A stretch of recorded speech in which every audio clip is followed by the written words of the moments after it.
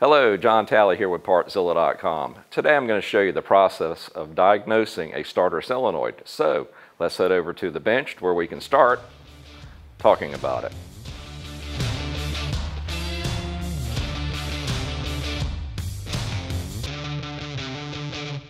No matter what type of machine you have, I guarantee you it's going to have some type of starting solenoid.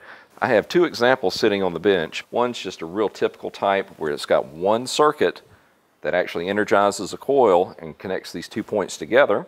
And the other one has a couple of more connectors, but I'll go into those later. But basically they accomplish the same thing, which is taking a high amperage source and transferring it over to a high amperage load using just a low voltage circuit to accomplish this.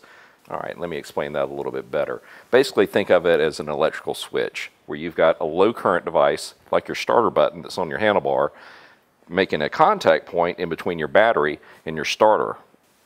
All right, how do they actually do that?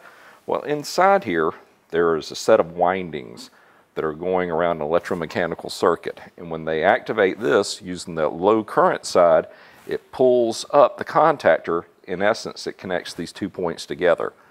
So you're just taking your battery side and switching it over to your load, which in this case is going to be a starter. There's no polarity associated with these. Basically, you've got one line going in, it's going around that coil, and then it's coming out to the other side. And that's going to accept a DC voltage. It's still going to energize the coil, and that's what we want to check for. So starting with this one, we're going to take just a battery on our bench here, and we're going to run it through the coil wiring. And what we're going to listen for is just a simple click.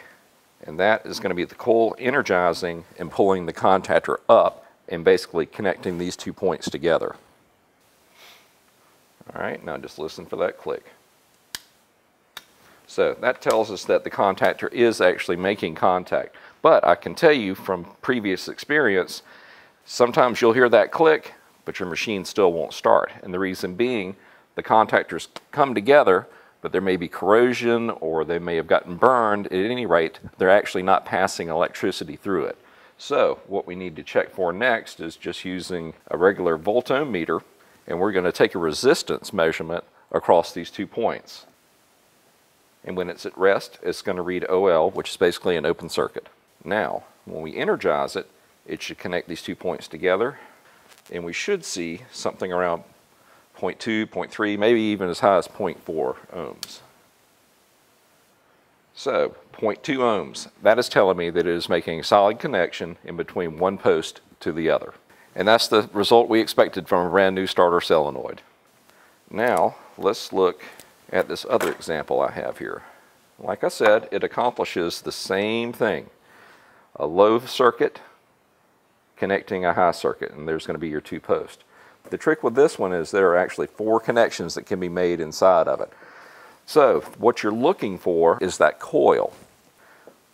What you're going to find is there's two that are going to be for the coil itself, and the other one is basically a connection back to your battery post that's going out to your electrical distribution system, also known as your fuse box, if it has one. Let me show you what I'm talking about. Let's, uh, let's find out which post that this one up here goes to. You can actually see that is actually connected together down at the bottom, so it's just one point. So I'm going to grab one there, and then we're going to see which post it goes to. Not that one. There it is. So on this particular relay, this post would be going to your battery and this output would be going to your fuse box to be distributed through the rest of the vehicle. So, that being said, we want to verify that these other two are actually the coil. The way you do that is just take a resistance measurement across them and it should be around four to five ohms because that's typically how much resistance is going to be inside of a, a coil. So let's see what we end up with. A little bit higher than I thought around 6 ohms. But that tells me that that is going to be the coil. So to test this one, this is going to be our connection point, one side and the other. And now we're going to trigger it from here to here. There you go. You're right at 0.6, 0.7. So that's basically 0.5. That's telling me that it is making a good solid connection and that's what we're looking for. So as predicted, this is a good uh, starter solenoid. So what I've shown you is basically a simple test for two different relays that are going to represent probably 99% of the machines out there. All right guys, it's that simple. If it's reading under an ohm, chances are it's going to be just fine. If it's reading that dreaded OL, well then you got more problems and you probably need to go and replace that starter solenoid. But I do want to caution you to go ahead and reference your service manual that's dedicated toward your machine because I've just shown you the basics with just the raw devices. Sometimes there's a big translation when you're actually having to work on the actual machine that you need to take into account. That being said, if you have any questions or comments you're having trouble finding which one does fit on your machine, why don't you give us a call and we can direct you straight to it. So we just want to say thanks for watching and we will see you in the next video. Have a great day and enjoy the trail.